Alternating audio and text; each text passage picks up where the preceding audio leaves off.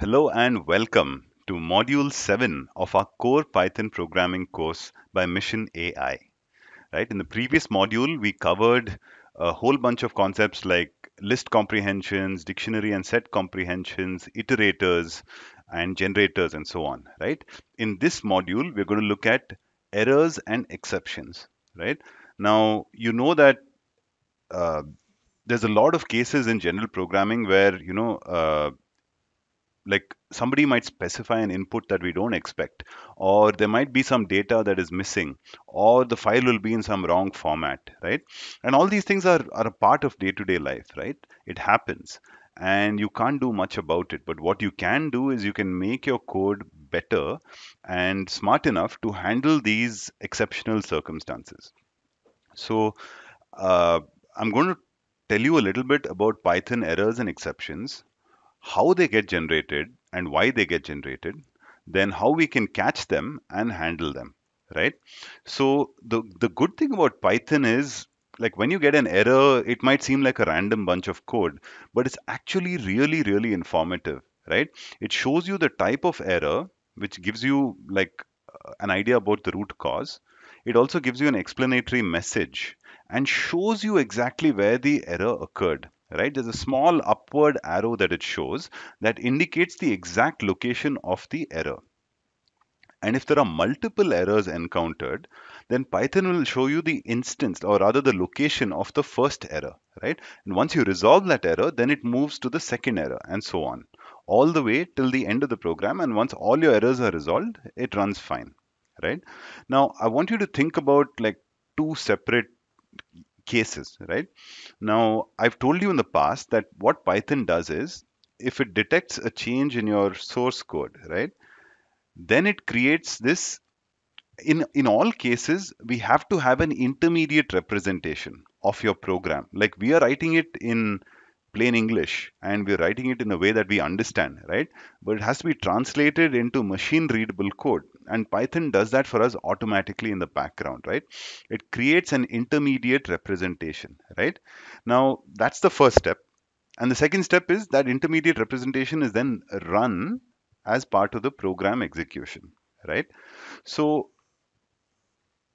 if, for example, I make a mistake in the syntax of my code, then in the process of taking what I have written and converting it to the intermediate representation, Python throws an error, right? There's an error in the syntax of the program, and this is called a parsing error.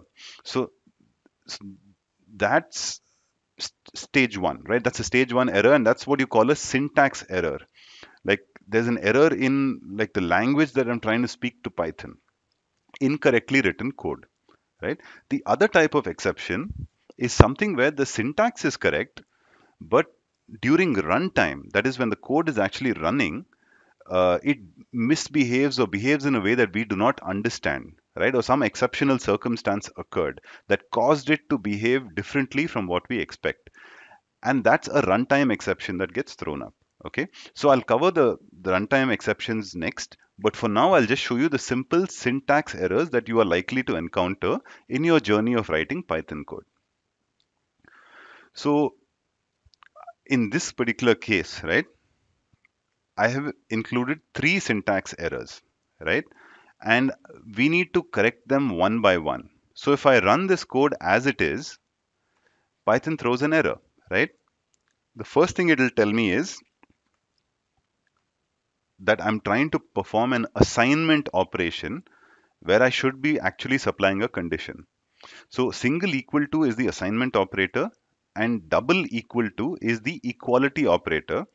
So and I actually intended on on passing the equality operator here, right? So I change it from 1 equal to to 2 equal to, right?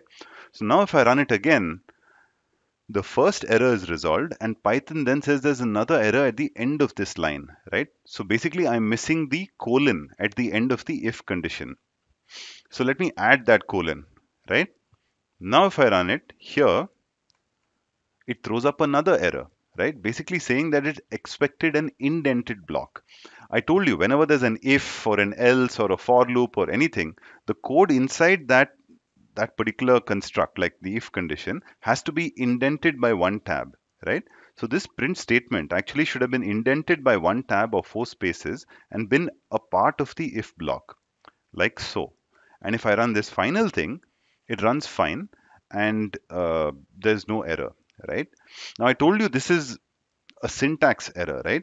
But when I run this last thing over here, it throws something called an indentation error, okay? And the reason for that is indentation error is basically a subclass of syntax error. Uh, we'll be covering object-oriented programming in the next module, but what this statement basically means is that indentation error is a specific type of syntax error. So it still comes under syntax errors. And if I run this statement, the is subclass function with indentation error as the subclass that I'm checking for and syntax error as the base class or superclass, then it returns true, right? Okay, so let's correct this code ourselves step by step and get to code that runs successfully, right? So if I run it now using control enter, you can see that first it's told me the kind of error, right? It's a syntax error and it says invalid syntax. Now it says in this particular file on line 2. Now line 2 is here, but no, actually this is line 2, right? Line 1 is where the comment is and line 2 is where this code is. And it even has this upward arrow here pointing to where the error was. And it's right below the equal to sign, right? Which basically means that I'm trying to do an assignment operation here when in fact I wanted to do an equality check. So I'll add an equal to sign. So let's run it again now.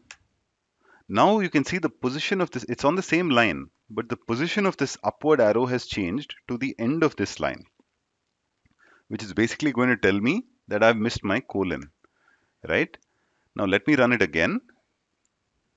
Control enter. Now it says there's an indentation error, right? Expected an indented block and this is in line 3. The previous errors were in line 2. So over here, it's telling me that my code should have been indented, right? So I'll press the tab uh, button on the tab key on the keyboard, and now I get an indented uh, line of code, uh, which forms part of the if block. So if I run this, now it should run successfully, right? There we go. We have this value printed correctly. So 1 equal to 1 is the equality is checked correctly. I've specified the end of the if condition and beginning of the if block correctly, and I've indented that code in the if block. And if I run this particular statement is subclass, it should basically give me true, right? Telling me that indentation error is a type of syntax error. It returns true. Cool, so let's do a couple of exercises here. We need to correct the syntax errors one by one in the following code by looking at the error messages. So I'll select this entire code and uncomment it using control slash and this forward slash, right? And if I want to comment it out again, I can do control forward slash again and undo it using control forward slash again. So basically it's like a toggle, right? Okay, so what I'm going to do is I'm going to run this first just to find out where the errors are. So control enter to run. It says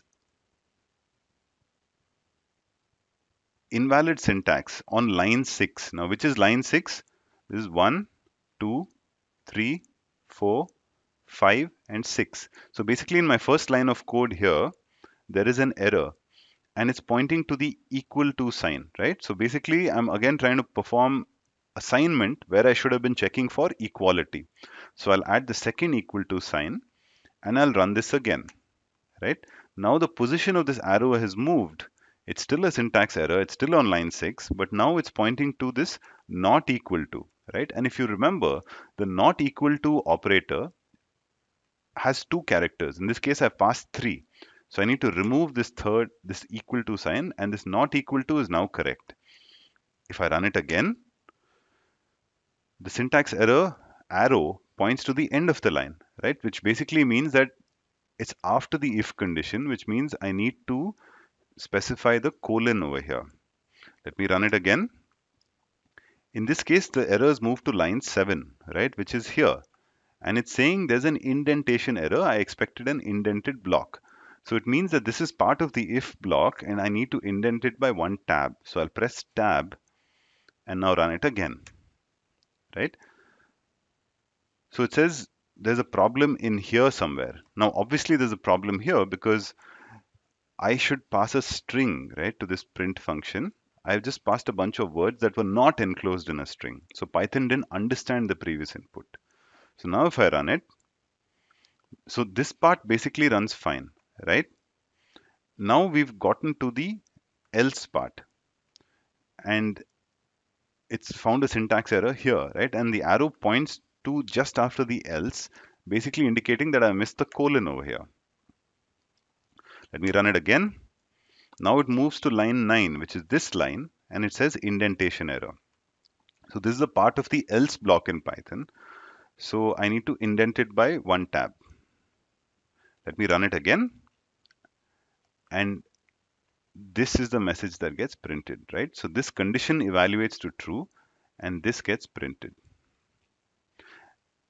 And if I had changed this value over here, then this would get printed. Basically, irrespective of what gets printed, the fact is something is getting printed, which means we have corrected all the syntax errors, right? We're not vouching for the behavior of this program. All we're vouching for is that there are no syntax errors.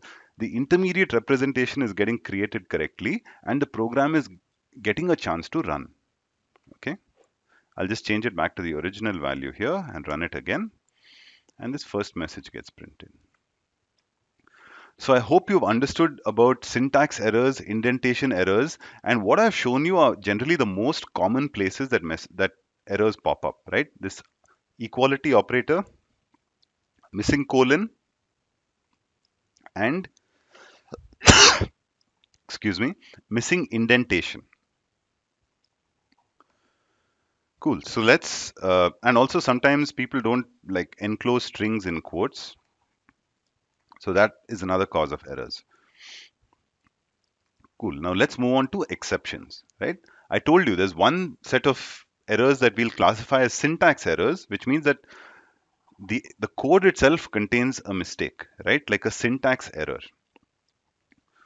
So the Python interpreter is not able to parse what we've written. Now in the second case of an exception, the Python interpreter can parse the the syntax that we've written it can it creates this intermediate representation correctly but during the run the running of the program it throws an error. So it's basically called a runtime exception okay? That means that it's syntactically correct but the behavior has gone along unexpected lines and it breaks some rules right? Like this typically happens in a few cases where we're asking the user for some input and we just assume they're going to provide the right kind of input or if we're assuming that let's say some data structure contains certain number of values but it, let's say it has missing or empty values right? Uh, this is typically when exceptions occur right? And there are four main types of exceptions that we will look at.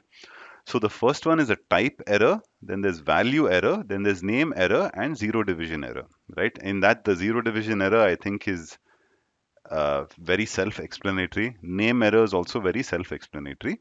This type and value error, I think we need to deep dive a little bit just so that you understand which one occurs when, right? Cool. So let's now look at the section on type error. Now, a, a type error is thrown when an operation of function, just think about it. I'm applying an operation to an object of an incompatible type right? Now we have already seen this happen before. You remember I told you, right? Like when we are doing print and we're trying to concatenate a string with an integer without converting this integer to a string, then effectively I'm trying to add an int to a string or I'm trying to concatenate an int with a string, which basically they're incompatible types. So Python throws a type error, right? Similarly, if I try to find the length using the len function of a float, that doesn't make sense, right? The len function expects an iterable. It expects a collection. It expects a data type that can hold one or more values, right? It could be like a string, it could be a list, it could be a tuple, it could be a dictionary, a set, whatever, but it cannot be a float. So I'm passing an incompatible type to this function, right? Now over here, for example, I'm trying to say I'm dividing the string by 2. Maybe what I thought was it'll give me only the first half of the string. I don't know. But basically, it's division is an incompatible operation for a string. Like there is no predefined operation called division for a string, right? So it's an unsupported operation between a string and an int. And finally, I'm trying to print out this list, right? But we know that the list constructor takes only one argument and that argument has to be an iterable right an iterable is basically i told you yesterday we covered it in module 6 right so an iterable is basically an object like loosely speaking it's it's like a collection. It can hold multiple values but technically speaking it has an iter method which returns an iterator to the iterable right? But one is an integer which is not an iterable so we're passing an incompatible type to the list constructor function. So it throws a type error. So in all these cases we're either passing an argument of the wrong type to a function or we're trying to perform an incompatible operation an operation between incompatible types. So i'll just copy all these statements and i'll run them one by one right? And i'll keep uncommenting uh, successively. So if i say print hi student number and i say plus 5 it should throw a type error right? Because string plus integer makes no sense. So python doesn't understand it and this is where you understand that python implements strong typing right? So strong typing means that certain operations between incompatible types are not allowed right? It's better to throw an exception than to not throw an exception and do some unexpected behavior. So here we can see that can only concatenate string not an integer to string. So if i convert this to let's say str right, using the string constructor function, and I run it, now I get the right answer. So string plus string is allowed, string plus int is not allowed. If we run that operation, we get a type error. Now let's uncomment the second line, len of 100.55, right? Where we know that the len function basically needs a, a collection or an iterable. And float is an, uh, so a float object has no concept of length, right? It just has a value. If I run it now, I get a type error. Object of type float has no len uh, method or function. So what I would do in this case is I would enclose it within a list, right? So I have a list containing one float value called len. And if I run this now, the length of that list is 1. Now let me uncomment the third line, right? This is a string and I divide it by 2. That operation makes no sense, right? So either I have to say uh, I change the division to multiplication and I run it and it gets repeated twice. Or if I wanted only the first half of the string, I can do something like uh, I can slice this string, right? And I can say from 0 to len uh, let me just assign this string to a variable first. So I'll say s equal to this string. And then I can say print s of 0 to len of s divided by 2 and I convert that to an integer. So if I run it now I get the first half of the string, right, which is like seven characters. It's this much. And the other seven characters are the second half of the string. So I might have wanted to do something like this, but I ended up saying print string divided by 2, right? So I have to basically convert it to an, uh, like pass the right kind of arguments to the right kind of function. And finally, let me uncomment this last line. Print list of 1. This makes no sense because 1 is an integer and it's not an iterable and I need to pass an iterable to the list function. So if I had passed it as a string, then it would have run fine, showing you that there was a type error and now uh, there is no type error. Okay. So just to reiterate, a type error is thrown when I try to either pass an incompatible type of argument to a function or I try to perform an operation between incompatible types. Now let's move on to the second thing, which is a value error, right? Now a value error is thrown when like, so think about it as a sequence, right? First the type is checked, right? And if that part is sorted, now the next thing we look at is I've passed an argument of the right type, but the it has an unacceptable value, right? So if I have, let's say, a function that that expects, uh, like I take some input from a user, right? And I ask the user to input a number, and that input function basically stores the user input as a string, right? And I pass a string to this integer con constructor function. Now the string is an acceptable input to this int function, right? But if that string contains anything other than a number or anything other than an integer, then we throw an error, right? It's a value error. So in a sense, int of 21 as a string is okay, but int of cat is not okay, right? So in both cases, the input is a string, but the contents of that object are what matter. So it, we're basically saying type is okay, but value is wrong. Now you look at this list here, right? Now in the second case, I'm trying to perform an operation on a value that does not exist, right? Like the list contains three objects, one, two, and three, but I'm trying to remove the object or the item 4, right? Now 4 is not contained in this list. So Python throws a value error saying that value 4 does not exist in the list.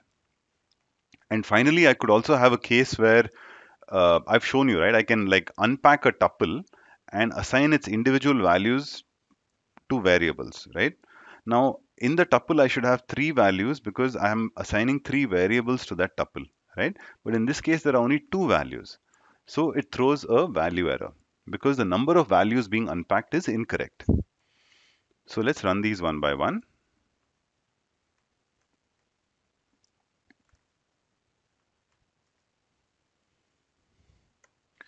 So if I run the first uh, statement, right, let me type 21, right? So what happens is that input function returns the string 21 to the int function and int can successfully convert the string 21 into the integer 21 which then gets printed right? So 21 gets printed.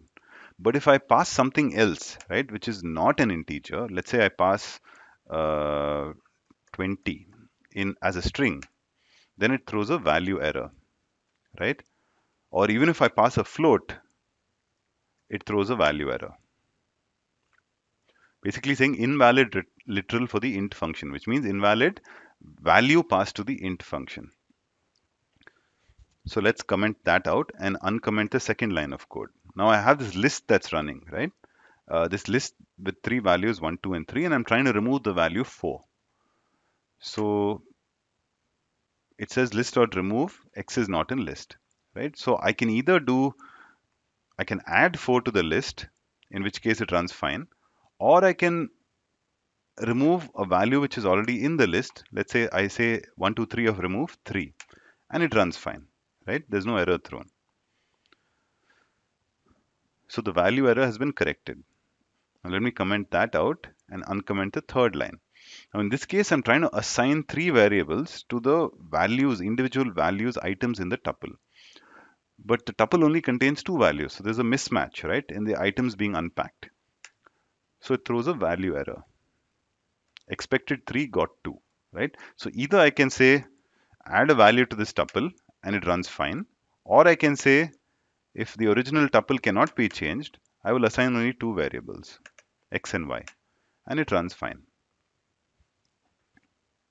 So you've seen where a value error gets thrown, right? It's basically because it's potentially the right type of argument, but an unexpected value, right? Uh, like for example, if we pass a string to an int which is allowed, but the string contains anything other than an integer, or if we try to remove a value from a list when that value is not in the list, or if we try to assign an incorrect number of variables to the values of a tuple. Okay, so we've seen type and value error. This is the these are the two most I would say complex types in terms of understanding the root cause of an error. The next two are really straightforward, right? So name error means like I've incorrectly specified the name of the object, which basically means either it does not exist or I've misspelled something. So if I look here, right, print len of variable a. Now, I have not created the variable a anywhere, right? So it's not in the runtime environment. So Python throws an error saying I can't find a. a has not been defined. In the second case, I'm saying print of 10 and I've obviously misspelt the print function name, right? So it throws a name error. I'll run both these and I'll show you. Now in the first case, if I run it, I say print len of a, right? Oh, sorry, a, I, I had run this code previously, so a has been defined. So let me create a variable called ab, right? Print len of ab. Now it throws an error, name error, saying name ab is not defined. I basically not created any variable called ab, right? So if I say ab equal to 1, or I'll say a string value 1, then it should print this value just fine and now it will throw an error from this line. So if I run it, here we go. This first value gets printed fine, and the second, the last line throws an error, right? Saying the name print is not defined. So I just need to change this to print, and now it runs just fine. So we've seen that the name error happens when either I refer to a variable that has not been defined, or I misspell the name of a variable or or a keyword or a function. And finally, there's a zero division error, right? And the zero division error occurs when I, am performing a division operation and uh, the, the divisor, that is the denominator, is zero. So if I paste that here, you can see that I'm doing this division 1 divided by a, but a has the value 0. So I so basically 1 divided by 0 is infinity, right? And we that's an invalid undefined value. So we cannot pass that to the string function. If I run it here, it says zero division error. So those are the four main types of errors that we look at. Type error, value error, name error, and zero division error. Let's do exercises now. So modify the following statements so that they don't throw a type error, right? Use control slash to uncomment the code. So let's say I uncomment all these three lines at once, right? Now the first line should throw an error because I'm trying to perform an illegal or rather I'm performing a valid operation between incompatible argument types like string plus integer makes no sense, right? So if I run it, it throws a type error on this line, right? Saying can only concatenate string to string. So I'll just change 8 to its string representation using this str function. Now if I run it, the first message gets printed fine, right? So the first line has been corrected. Now the second line is throwing an error and it's throwing the same type error saying unsupported operand types for divide. That is, divide can only work between numeric types and not a string and a integer. So how do I correct that? Let me just change this to uh, multiply, right, for simplicity's sake. And I'll get the, the message test repeated three times. So here we go, test, test, test. Now the error thrown is from the last line over here, right, which is indicated using this arrow. It says type error, int object is not iterable. So I'm trying to pass a non-iterable value into the uh, list constructor function. So what I should do instead is just make it an iterable by like enclosing it in double quotes so it becomes a string. And I'm not saying like this is how you always solve these errors. I'm just saying in this particular case, I'm showing you the reason why this error popped up, and I'm showing you a quick fix that I can take to make sure that this particular error does not pop up. But doesn't mean that my program is running correctly just because I changed two to a string, right? You'll have to do what's right for your program. So we've corrected the type errors, right? So now let's correct value errors. So print int of cat. Now that makes no sense, right? Uh, because int can take a string, but it cannot take a string containing letters. It can only take a string that, that contains an integer. So if I run this without making any corrections, it shows an error on this same line that we've identified and it says invalid literal for the int function. So if I change this to something like 35, right, it runs correctly. So the value 35 gets printed. Now it throws a value error from the second line, which is here, right, this line, basically saying that the value 40 is not in the list. So I can add 40 to the list and remove it. Or what I can also do is something like if first I'll assign this list thing to a variable. So I'll say L equal to 10, 20, 30 and say if 40 in L, right? Then I'll say L dot remove 40. So in a way, I'm kind of taking care of a few uh, edge conditions.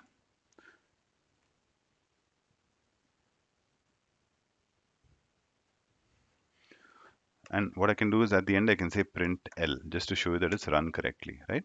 So it runs correctly with these three values remaining. This part does not run because 40 is not present in L. Now, if it was present in L, it would have run correctly still, right? Because only three values will be remaining at the end. And the error that's thrown is from the last line and that's because there's an incorrect there's a mismatch in the number of values of the tuple and the number of variables that I've specified so I can just remove the third variable from here and I get x and y and the whole thing runs fine so all three value errors have been corrected okay moving on to the the name error part now let me uncomment these lines. So I have no variable called a1, or at least I don't remember if I've defined a variable called a1. So that's what should throw an error. No, it turns out I have defined a1. So let me print len of a2, right? And it says name of a2 is not defined. So this is an undefined variable. So if I say instead a2 equal to test, and now I run it, I get the value of length, uh, the value of len of a2, which is 4. Okay, so these two statements have run correctly, and the error thrown is in the last statement, and it says the name prin is not defined. So I just need to add the t here and make it the print function. And now the whole code block runs fine. So we've seen how to correct type errors, value errors, and name errors. And finally, we look at modifying this code block so that it doesn't throw a zero division error. So I have a list with three values. I'm iterating through each item in the list and I'm printing the reciprocal of that element, right? And this is a normal operation. You'd expect to do something without errors, but you didn't know that the list contained a value of zero. So if I run it now, the first two items get run fine and the message gets printed correctly. In the third iteration, it throws an error when it encounters 1 divided by 0 right? And it shows that this is the line where it got encountered. So how would I do that right?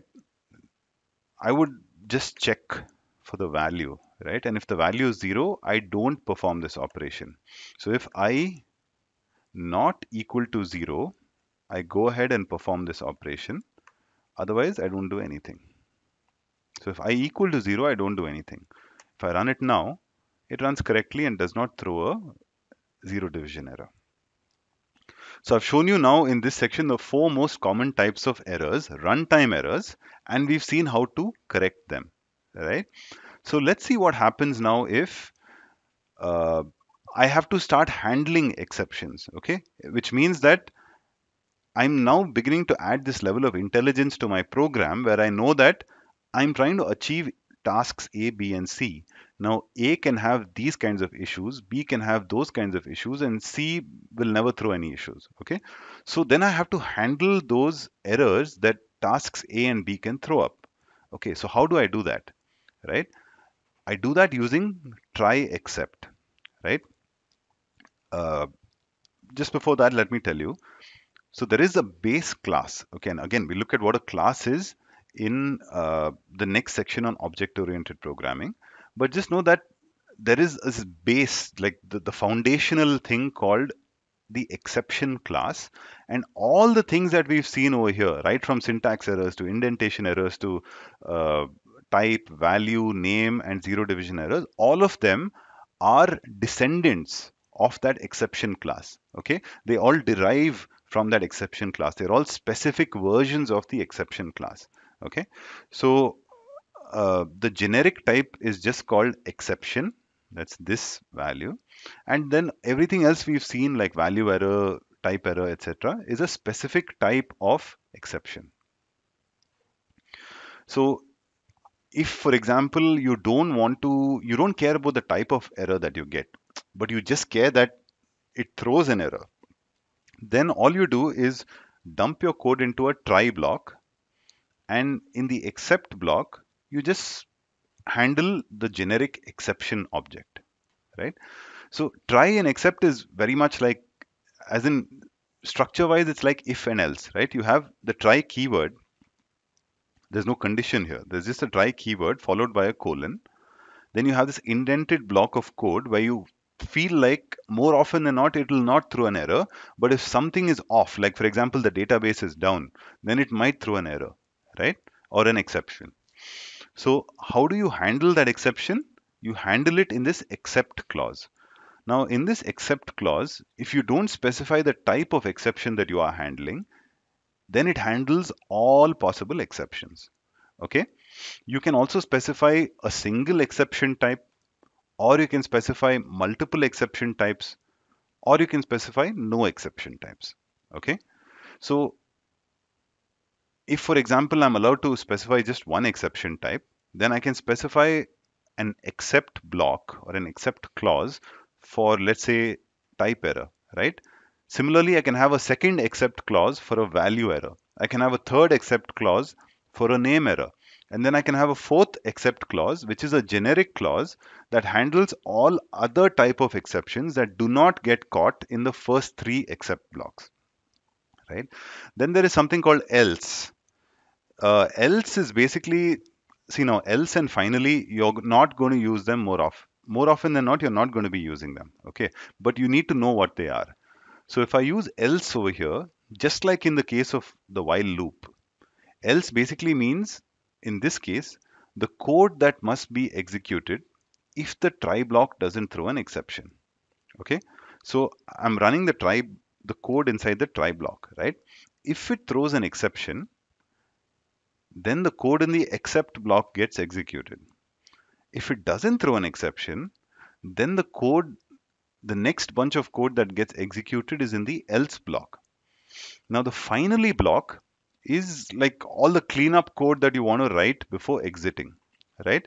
Like for example if in here you've handled you've opened a file right? Now in the finally block you should close the file before exiting.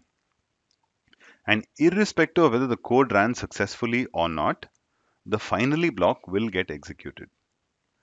Okay, so there's a try block containing a block of code indented and there's an except block that looks for exceptions and it has a block of code that is indented.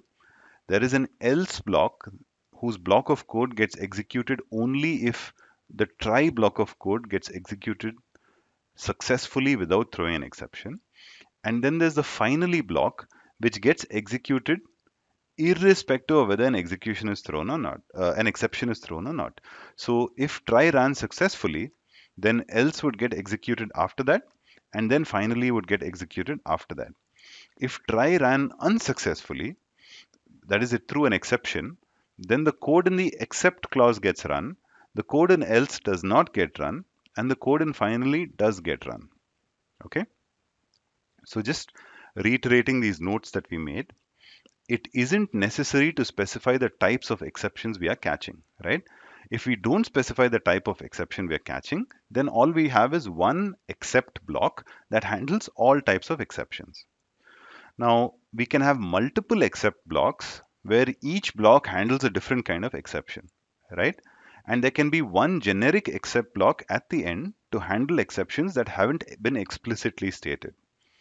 And within an except block, we can have multiple types of exceptions that can be caught or handled, right? Like for example, I put brackets and I put types of exceptions. So I can handle, I can specify multiple exception types in here.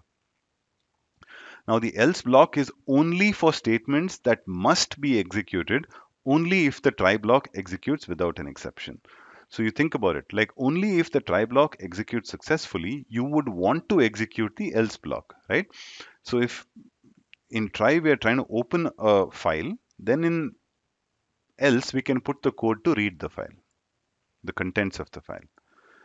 And the finally clause is not necessary, but it's used to typically specify cleanup actions like closing a database connection, closing a file, and so on. Okay. Now let's look at some code examples. In this first example is a basic try and except, right? So I'm I have this code that runs and irrespective of what kind of error that code might throw, I have a single except block that just prints out a error message. Okay.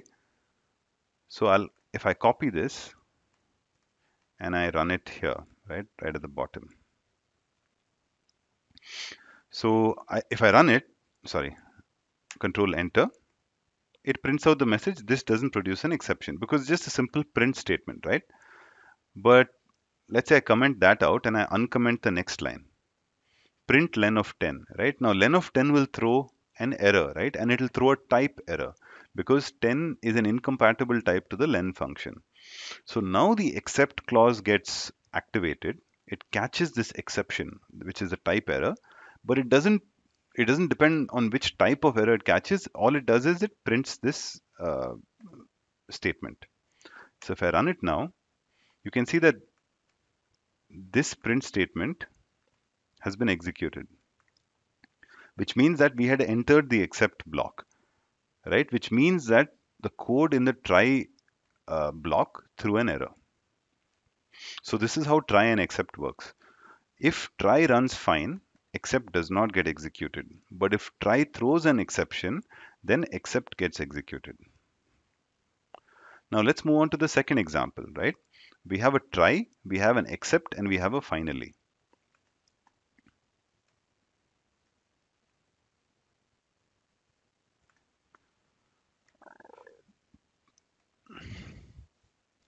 Now in this case, the, the code we're running in the try block will not throw an exception. It's just a simple print statement, right? So the except block, and we have only one except block, will not get executed. This code will not get printed. But there is a finally block where we are printing a message and this will get executed irrespective of whether there was an exception thrown or not. So ideally, we should see this getting printed successfully. It reaches the end of this try block without throwing an error so except does not get executed and the finally block gets executed. So we should see two print statements run. That's exactly what we get. We get this value from here. And because this ran successfully, this does not get executed. And then we get this value from here, which is printed right at the end, irrespective of whether an exception was thrown or not. Okay, so you've seen how try, except, and finally work. Now let's move on to the third type of example, right? This is more interesting because I'm showing you like the full range of features of try and except. So I have a try block, right? There's a bunch of code here. In the first except block, I'm catching only name errors, right? And if the name error is caught, I'm printing a message which is specific for that name error. In the second except block, I'm catching two types of errors, which I'm specifying within brackets. One is a value error and one is a type error. And if I enter this except block, I'm printing out this particular message, right? Then I have a third except block where I'm not specifying the type of exception being caught, which means that this is like a catch-all, right? This is the generic except clause where if I don't enter this and I don't enter this and an exception is thrown, then I enter this block. And this is the message that gets printed for all types of exceptions other than name error, value error, and type error. And then there's a finally block that gets executed irrespective of what happens in these other blocks. So if I run it now, you can see that I printed this line, right, at the beginning of the try block. I printed this line at the end of the try block, right? It ran successfully. So none of these except clauses get triggered, right? None of the code blocks get executed. And then we get to the finally part and this message gets printed, which is here. Okay, now let me start uncommenting these lines one by one and I'll show you what else gets executed. Now I'll say print len of 10, right? And this is a type error quite obviously because I'm passing the wrong type to the len function. So if it throws an error from, from this line, it means that it straight away goes into the except blocks without printing this line, right? So this line at the end of the try block will not get executed. Instead, since it throws a type error, it should come to this except block because that's where we're catching the type error and it'll print this message. And then finally, it'll print this message. So that's what I accept, expect to see. So here you can see what's happened. It printed this first line over here. And from now on, let's just assume that line is always going to get printed, right? Now, it threw an error here. So the control went straight into this except block where it printed this value. This is the code in the except block for value and type error, right? Which is exactly what we got over here. And then it goes to the finally part. And from now on, let's assume that finally is going to also get executed irrespective of what happens. So I showed you how multiple exception types can be specified and handled. And in this case, we handle the type error, right? So let me comment that line out and then uncomment the next line. Now this line throws a value error, right? Because we're performing an operation on a value that does not exist in this list. So now if I run it, the first line printed as usual, last line printed as usual, but it goes straight into this block again because I'm handling value error and type error in the same except block. So I get the same message as last time. Now let me comment this out and uncomment the third line here. Now, let's say I refer to a variable A3 that does not exist, right? So it should throw a name error. And since it throws a name error, that gets handled in this first except block. And this message gets printed.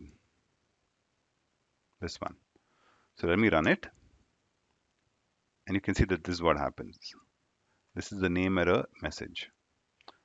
Right? Because the value A3 does not exist, it does not know what this name refers to. So I'll comment that line and I'll now uncomment the line that throws a zero division error, right? 1 divided by 0 is infinity and that throws a zero division error. So let's run it. And it goes neither in here nor in here. So it basically goes in here in this generic clause, which is the catch-all, right? For all other exceptions other than name error, value error, type error. So I could have also said something like exception and it should show the same same uh, output, right? Because exception is like the uh, foundation base class that all these specific exceptions derive from. So this is the code in the except block for all other exceptions that haven't been specified. This is the message that gets printed for this zero division error. So you see how we can specify an except block with one type of error being looked for.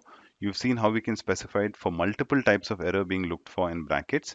And then you can specify a generic catch-all block uh, that executes if the except blocks before that have not been executed. Remember, in any case, only one except block will get executed, okay? At most. What's in the try will always get executed until the error is thrown, and what's in the finally will always get executed, no exceptions. So let's do, uh, oh wait, there's one final example here. Just to show you again, kind of reiterate uh, what gets printed and when, right? So I have a print try, right, which runs successfully. It's just a simple print statement. So except does not execute, else will execute because try executed successfully, and finally will execute because it always gets executed. So if I run this now, I can see that try, else, and finally have run, and except has not run, right? Now let me comment that first line inside try and uncomment the second line. So I'm trying to print try plus 1, which is an invalid operation. It's a type error. So that should send me into the except clause, right? So nothing gets printed from try. The except does get printed. The else does not get entered into because try did not run successfully. And then finally gets entered into because we always enter the finally block. There you can go. We've only got except and finally, right? So you know when when try gets fully executed, you know when except gets executed, you know when else gets executed, and you know when finally gets executed. Going to the exercise now. So write a function that uses list comprehensions to generate a list of squares of the first 10 positive integers, right? So let's say I have this function called def uh, list of squares, right? List squares underscore 10 right? Doesn't take any arguments. And let's just say it returns. I'm going to return this list comprehension where I want the squares of the first 10 positive integers. So I'll just say num square num to the power of 2 which is the output expression space for num in range 1 comma 11 which is the iteration and there's no filter, right? So all I'm doing is I'm returning this simple list and I'm going to call this from the main function, right? Print list underscore squares underscore 10. And I'm going to call that function.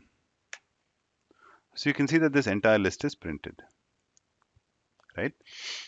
So within that function, if there is a value error, print this message, right? So now what I'll do is I'll move this to a try block, indent it, and then I'll start writing my except blocks. So if there is a value error, print the message there is a value error. So except value error and this is the message that I want.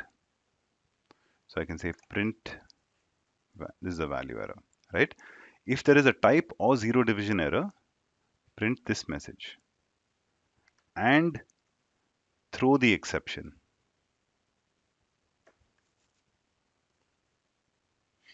So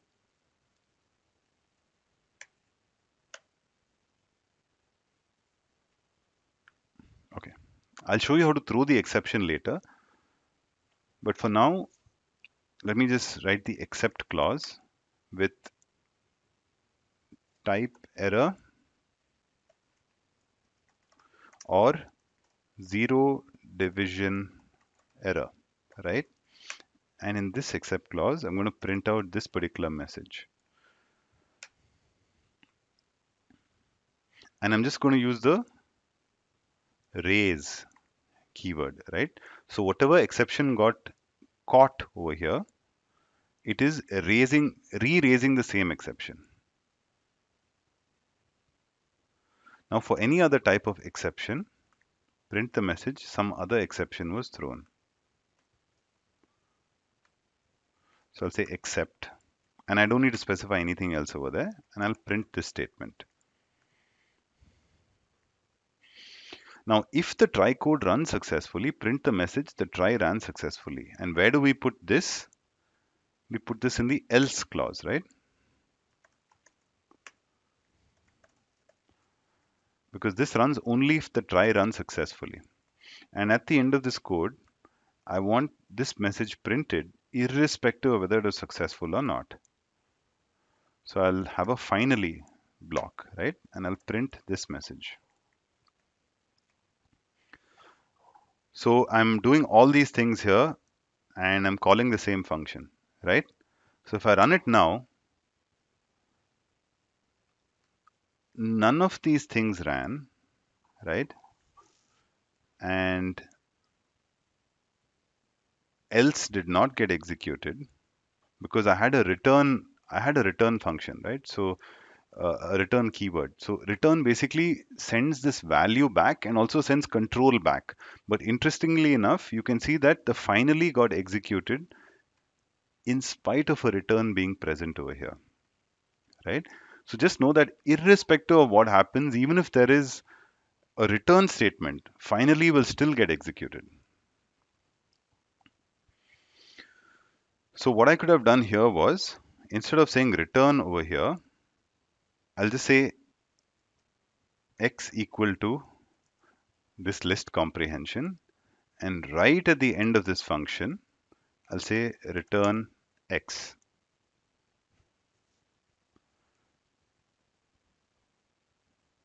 okay? Uh, but actually what happens is if there was an error in here then return x would never get executed right? So instead of that I'll just I'll just put it over here. And uh, if I run this now I get the same output right?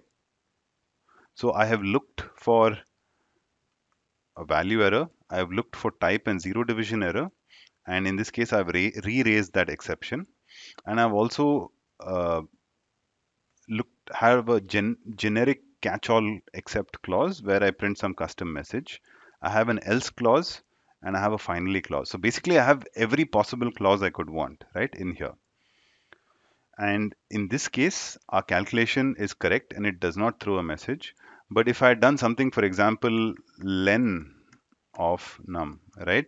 I'm passing an incompatible type. So it'll throw a type error and this is what should get printed and then it gets re-raised. So if I run it, you can see that it's thrown a type error, right? Object of type int has no len. And you can see that it got thrown from here. That is where this list comprehension was defined. So now the except clause gets uh, executed, the one for the type error.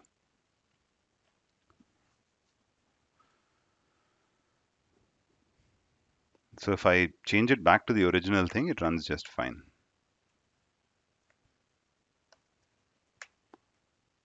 Here, right? Cool. So that brings us to the end of this uh, part where we are handling exceptions, right? So we've seen what a try block is. We've seen the except block. We've seen the else block and the finally block. Now finally we look at the part on raising exceptions, right? What do I mean here? Like what I mean is there are instances where we might want to raise an exception proactively, right? Maybe like let's say within our company, the best practice is if uh, there is a function, right, to insert a new user into the database. And uh, this function opens a database connection, it runs an insert statement, and it closes the connection. And let's say the database connection is unavailable, right? Maybe the, the correct kind of behavior for your function is to throw an exception saying connection refused or something and then the other developer who's writing code to handle that operation could handle it in his code like he could say try your function and in the except clause he could say connection error right? So we've seen how to handle exceptions. In this case we're seeing how to raise exceptions.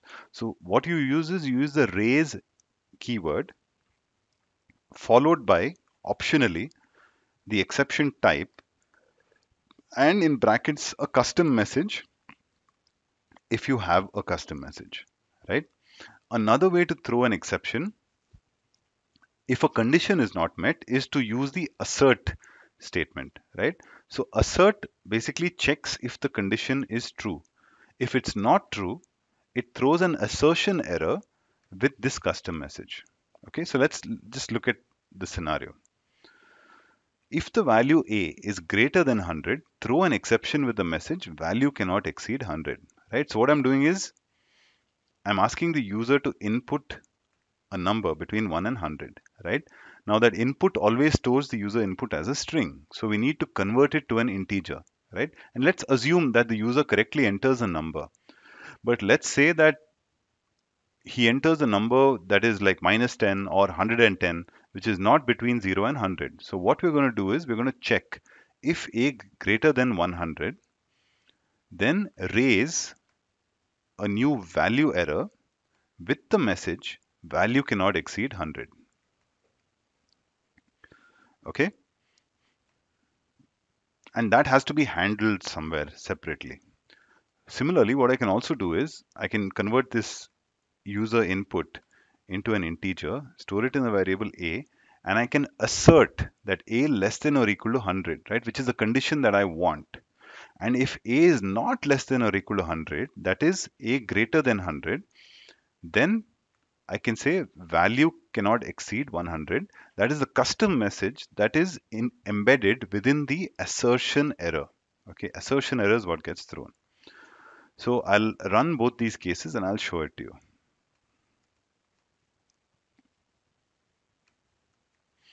So here in the first case, let me uh, enter a value 110, right? So it's it's greater than 100. So if I enter that, I've told Python to raise a value error with this message. So in value error here, you see value cannot exceed 100 and it points to the line where I've raised the value error. And this is the custom message that I had passed to the value error constructor. So let's say this part ran fine, right? Now I go to the next part which is assert, right? So if I run this, it checks if the value is less than or equal to 100. So I'll, I'll enter 150, right? And it throws an assertion error with this custom message. Value cannot exceed 100. And the line at which it throws it is the where it concern, uh, contains the assert statement. So you've seen how to throw an error uh, proactively using the raise keyword. You've also seen how to throw an error using the assert keyword, right? The only difference is in this case, when you throw raise, when you use raise, you can throw an exception of the type that you want. If you use assert, the, the type of exception that gets thrown is an assertion error. Now let's look at another case where an exception is thrown, but it doesn't describe the underlying cause accurately enough. Like for example, let's say Python put some random message into your uh, exception, right? So then what you'd want to do is you'd want to uh, throw a new exception with a specific custom message so that the user understands what exactly you're saying. So over here, what I do is I'm catching the exception, right? So like for example, I try to execute this print statement and if I did not enter a number over here, then converting it to an int would basically throw an error, right? And then this whole thing throws an error and it gets uh, sent to the except clause. But in that previous error, we might have had a message that we didn't really understand well, right? So what we'll then do is we'll catch that error and raise a new exception with a custom message. So if I go here and I run that code, I'll ask the user to enter a number. Let's say I enter cat, right?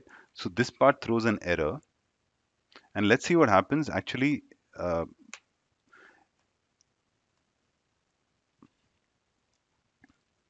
it's thrown a generic exception, right, with this message over here. And basically saying that this exception was thrown during the handling of this exception, which was the value error, right, which got thrown when uh, I passed a text input, an incorrect text input to the int function. Now you can see that this message would not have made that much sense, perhaps, and hence we've thrown a generic exception with this message. So what Python does in this case is it caught one, one type of exception and it raised a different kind of exception. Now what it's telling us is this exception was raised during the handling of this first exception, which was the value error. Okay. So what I've done is I've taken the original exception and in the except block, I've raised a new exception with a descriptive uh, message. Now the second solution would be catch this exception, right? And to the same exception, I add a more descriptive custom message. So just to let you know that every exception object has an args attribute. Now I've already shown you how to like what attributes and methods are, right? So if VE is the object, then VE.args is an attribute of that object. And in this case, args is the name of the attribute and it is a tuple, right? So it basically is a tuple of all the arguments that were passed to the exception. And typically what gets passed to the exception during creation, it's only the message that we want to show the user, right? That's the error message. So what I'm doing in this case is I'm assigning ve.args a new value, right? So what happened here is there was a print statement and let's say I pass an incorrect input to this int function, Python throws an error, right? So Python wrapped an a particular message inside a value error and it raised that exception, right? Now when it raised that exception, this value error object has one uh, item in the args attribute, which is whatever message that Python had embedded in that exception, right? Now what I want to do is I want to create an additional message inside that list of arguments, right? And what I'm going to do is I'm going to say, again, it's a tuple, right?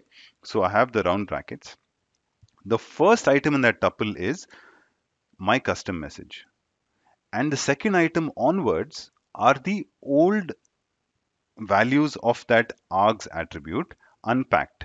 I remember telling you that star is used to unpack a collection, right? Like when we when we did zip in the previous module, we did star of z to unpack all the tuples. In this case, I'm using star of args, object.args, to unpack all these values. So I have a new tuple containing this custom message that I've put and each of the individual values from the old tuple unpacked. And now I'm just saying raise. I'm not saying raise this particular exception or that particular exception. So if I say raise with nothing after raise, then it just re-raises the same exception that it caught, right? But I have also added this message to the args attribute of that uh, exception object. So I'll show you how it runs now.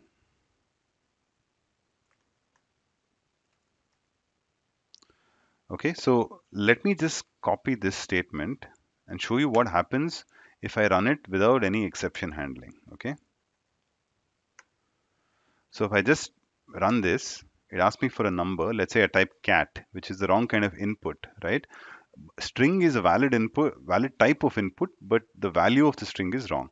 So I'll say enter and it throws a value error and this is the message that Python had wrapped in that value error exception.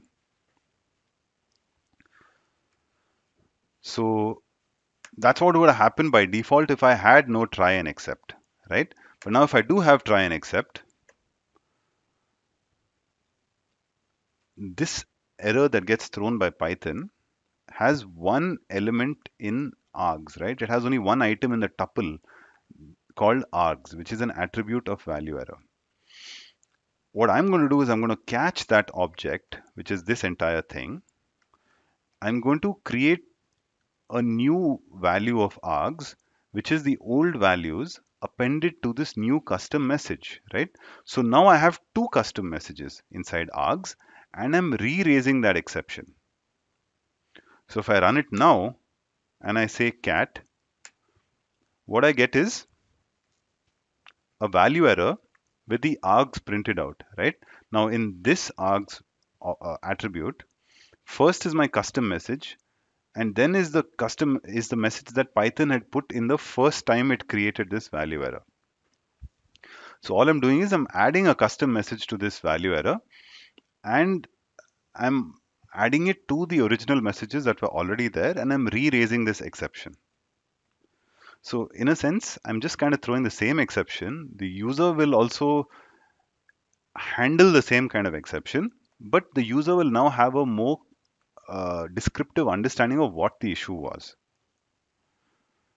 Okay, so that's the second solution. In the first case, we raised a certain kind of exception, right? A generic exception with a specific value. So Python then tells us that I raised this exception while handling the original exception. In the second case, I add to the arguments of the original exception and just re-raise it. And in the third case, I'm going to raise an exception from an exception. So I catch VE, right?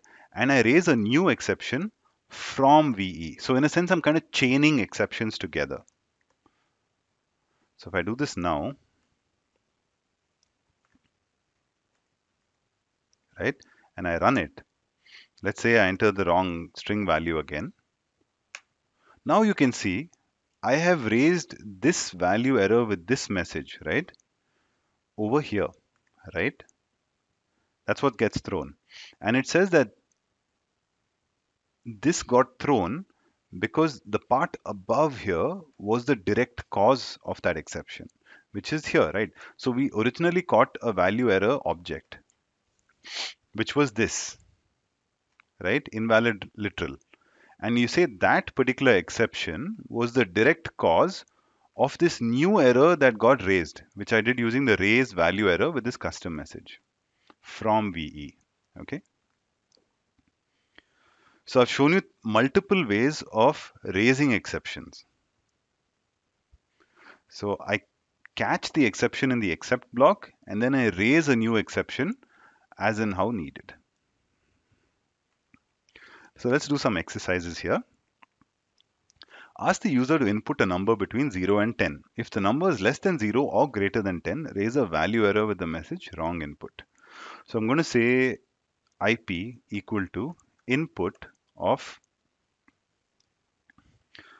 I'm not just input, I'm going to convert that string input into an integer, right?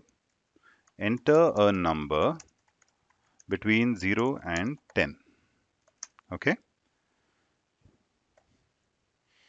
So I ask the user to enter a number between 0 and 10 and that's stored as a string by the input function. I'm converting that to an integer. So let's just for the sake of uh, simplicity assume that the user actually enters an integer correctly, right?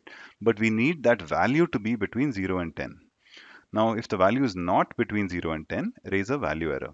So I'll say if IP less than 0 or IP greater than 10, right? Raise value error with the following message. Wrong input. So if I run this now, let's say I enter the value 5, then this clause does not get executed, right? But if I run it again with the value 12, then this condition is true and so we raise a value error with this custom message here right so what I would do in the calling like for example let's say I uh, let's say I put this inside a function right define func that does these things okay and I'm going to in my calling code, right? Like let's say it's run in a separate program. What I would do is I would say try execute func, right? Except value error print ve dot args and then I would say I would handle another like generic except clause saying print.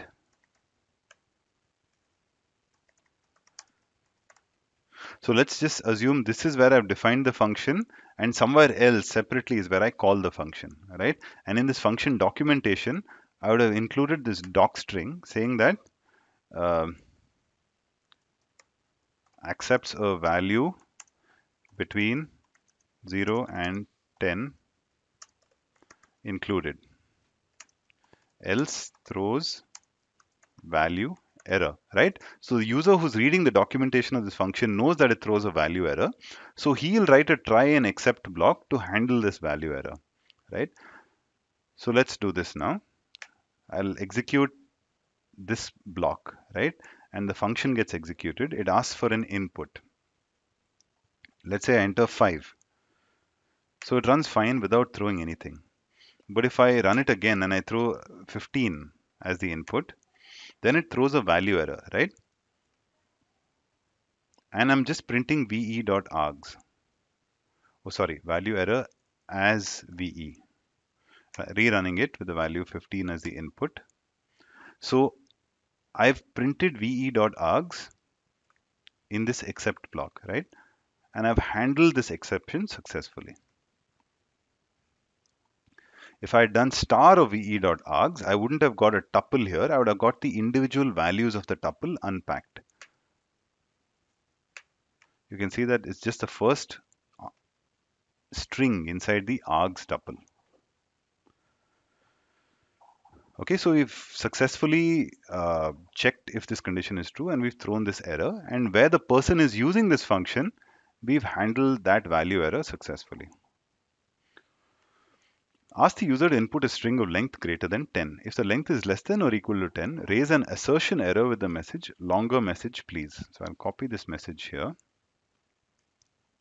I'm going to ask the user for an input, right? So IP equal to, I'm going to ask them to input a string. So I don't need to do any conversion. I'll say input, enter a string of length greater than 10.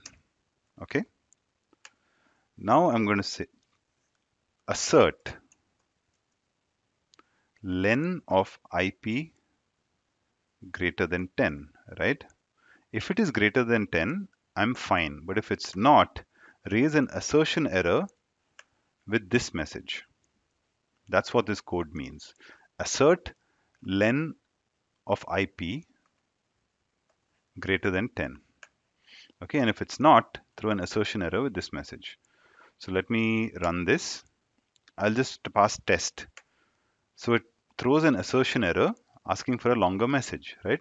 So if I now run it again with like a bunch of random code and I pass it, the length of this is obviously greater than 10, so it doesn't throw an assertion error. And finally, ask the user to input a number between 110 and 130, right? If the number is less than 110, raise a value error. While handling the value error, print the message incorrect input and then raise the caught exception. So let's do that, that clause first, right? So ask the user to input a number. So I'll say IP equal to int of input. Enter a number between 110 and 130. So the user inputs a number. I'm converting that number into an integer. And now if num, or sorry, if IP less than 110, I'm going to raise a value error, right? Just value error. And if I uh, saying raise value error is the same as saying raise value error with open and close empty brackets. So I'm basically passing no custom message over here. Okay. And while handling the value error, do something. So basically I'm saying here, I'm putting this whole thing in a try block. right?